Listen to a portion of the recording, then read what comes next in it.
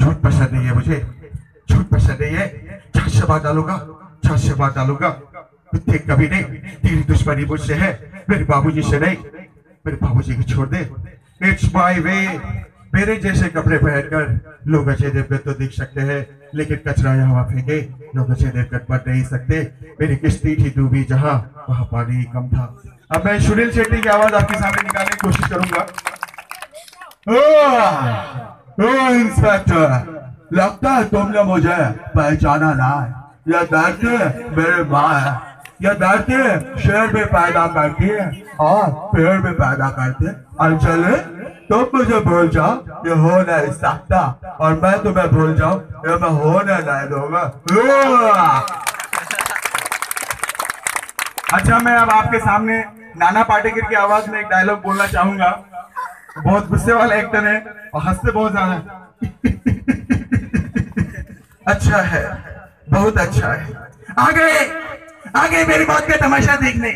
अब ये मेरा भाई मुझे ऊपर लटका थोड़ी देर ऊपर लटकता रहूँगा, जवान ऐसी आगे बाहर आएगी, आग ऐसी बाहर आएगी। फिर तुम चर्चा करते, घर चले जाओगे, खाना खाओगे, सो जाओगे।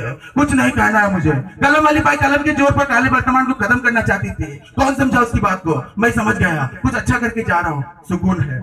अब मैं धर्मेंद्र की आवाज़ निकालने की कोशिश करूँगा।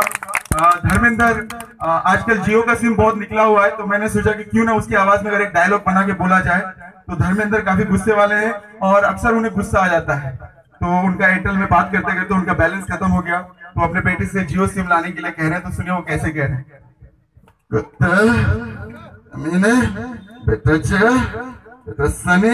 मैंने तुझसे कितने बार कहा मुझे एक जियो का सिम ला के दे। एयरटेल में बात करते करते मेरा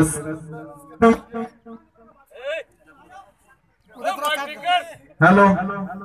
एयरटेल में बात करते करते मेरा सारा बैलेंस खत्म हो गया है। अब मैं अमिताभ बच्चन की आवाज़ निकालने की कोशिश करूँगा आपके सामने। नमस्कार देवियों सज्जनों, मैं हूँ अमिताभ बच्चन और आप सभी का टूर्नामेंट में स्वागत है।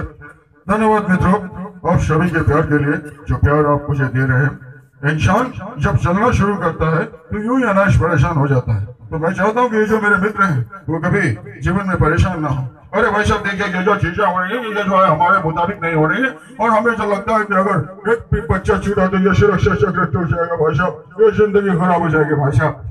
अब मैं सैफ अली खान की आवाज़ आपको निकालने की कोशिश करता हूँ। सैफ अली खान की आवाज़। वाह एक बार तो बोल कर देखा होता है यार, शायद मैं भी तुमसे उतना ही प्यार करता अरे दोस्तों, मेरी शादी हो रही है यार, इसीलिए तो इतना खुश हूँ यार। अरे दोस्तों, कुछ तो समझा करो यार। अक्षय कुमार की आवाज़ निकालने की कोशिश कर रहा हूँ। डोंट एंग्री मी जो मैं बोलता हूँ, वो मैं करता हूँ। जो मैं नहीं बोलता वो मैं डेफिनेटली करता हूँ। आसमानों से कहो कि अगर मेरी उड़ान देखनी हो तो अपनी कद और ऊँची कर ले। इसी के साथ राजपाल यादव। राजपाल यादव।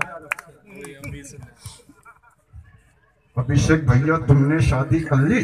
अरे भैया, जान मन बाद में देना। पहले काले रसगुल्ले को व्हाइट पॉलिश करके नाना भैया को दो। अरे भैया, जिसे देखो